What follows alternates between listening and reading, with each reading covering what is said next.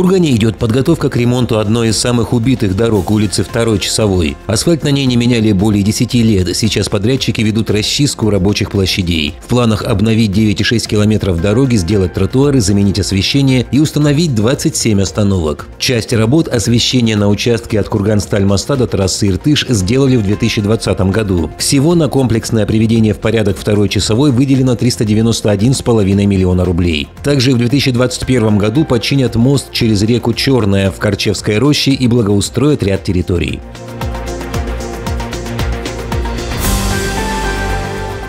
Пульмонологическом отделении Курганской областной клинической больницы лечиться будет комфортнее, здесь завершен ремонт. Вместо обшарпанных стен пациентов встретят чистые светлые палаты, обновленная столовая, душевые, санузлы. В каждой кровати в палатах проведен стационарный кислород, есть кнопка вызова медперсонала, сигнал поступает на дежурный пост. Впервые за более чем 20 лет в 2021 году капитально отремонтируют и гастроэнтерологическое отделение «Оперблок». Подготовят помещение для нового ангиографа, обновят фасады первого, третьего и пятого корпусов больницы больницы. В 2023 году начнут строительство нового лечебно-диагностического центра областной клинической больницы. В том же году завершат строительство 10-этажного здания хирургического корпуса онкодиспансера. На его постройку и оснащение потратят около 1 миллиарда рублей.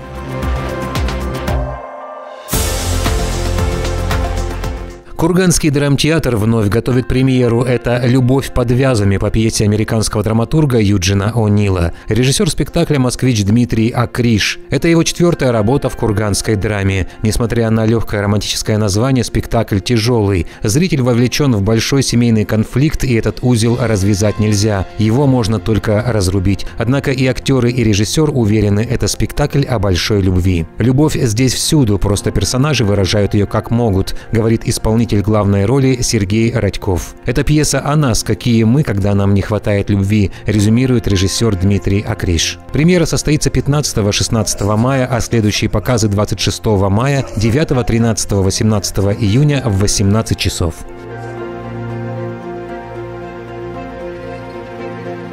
11 мая в Шадринском районе произошло ДТП с участием внедорожника и автобуса. Есть погибшие. Смертельная авария случилась в 15.20 на 229-м километре трассы Екатеринбург-Шадринск-Курган. Водитель Audi Q7 ехал в сторону Екатеринбурга, с ним в машине была женщина. В это время из Шадринска в сторону Тюмени двигался автобус Mercedes-Benz по маршруту Шадринск-Сетская Тюмень. По предварительным данным, внедорожник выехал на встречную и столкнулся с автобусом. Оба водителя, мужчины 65 и 64 лет и три пассажира пассажира автобуса, девочка 6 лет, 21-летняя девушка и 66-летний мужчина скончались. Они умерли от полученных травм до приезда медиков скорой помощи. И еще 4 человека, женщина из легковушки и 3 пассажира автобуса госпитализированы. Обстоятельства и причины ДТП устанавливаются, сообщает госавтоинспекция Курганской области.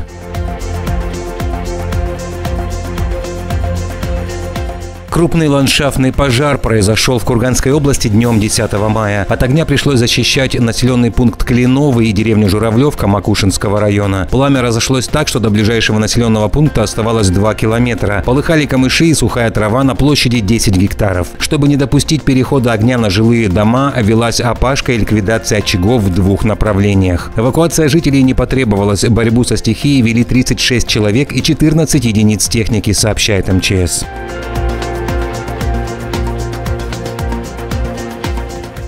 Мы не согласны, нам некуда ехать. А куда мы на улицу? Куда поедем? Покинуть здание за 24 часа. Такое объявление накануне увидели жильцы общежития номер 4 в студенческом городке КГСХ.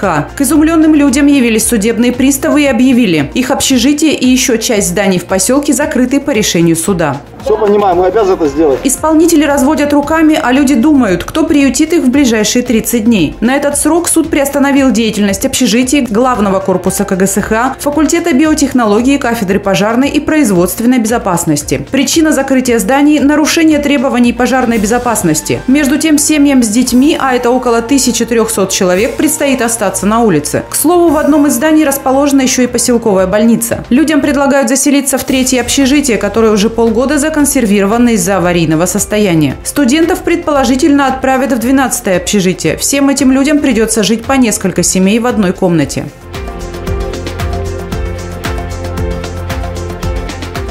Курганские волонтеры и активисты поздравили медиков концертом и флешмобом. 28 апреля работники скорой помощи отмечали профессиональный праздник. Он учрежден президентом Российской Федерации с 2020 года. На флешмобе волонтеры в красно-оранжевой одежде выстроились в цифру 103, номер для вызова скорой с мобильного. Так ребята поблагодарили всех медицинских работников, которые в любое время дня и ночи готовы прийти на помощь. Во дворе Курганской больницы скорой медицинской помощи прошел праздничный концерт. Врачи, фельдшеры, медицинские сестры и водители в перерыве между вызовами подпевали любимым песням. Яркими номерами поделились коллективы культурно-досугового центра «Черемушки» и артисты из районов области. Курганские хип-хоп-танцоры лучшие в стране. Накануне в Москве прошел чемпионат и первенство России Hip Hop Unite Russia 2021. Сразу два наших дуэта покорили своим мастерством сердца жюри и зрителей, завоевав первые места. Дуэт Twix в категории 12-17 лет Марина Шлипанова и Дарья Фомина стали уже четырехкратными победителями. А дуэт Nuts в категории 7-13 лет доказал, что является достойным продолжателем традиций курганских хип-хоп дуэтов. Александра Сидорова и Вероника Верещагина теперь тоже чемпионы России. Сейчас тренеру Анастасии Наумовой предстоит подготовить наших девчонок к чемпионату мира 2021, который пройдет во Франции.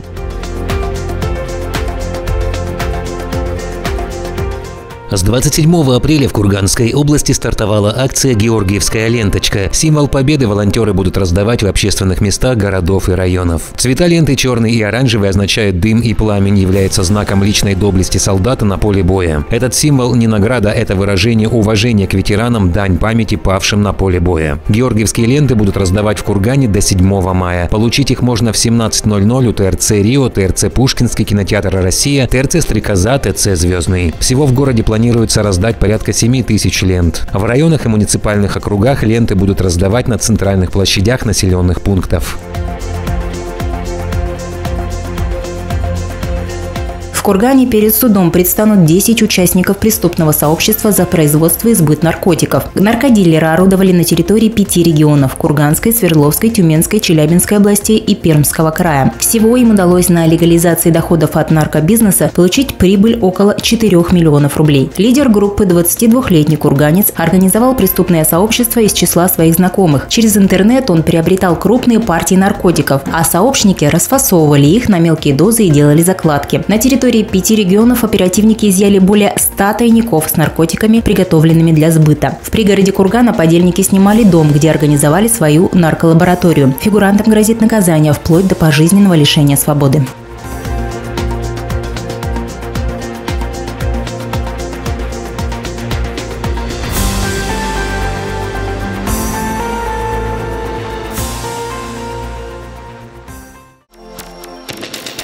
Школа иностранных языков ОКей приглашает ребят на обучающую развлекательную летнюю программу с углубленным изучением английского языка. Длительность смены – две недели. Улица Урицкого, дом 4, телефон 55 60 24.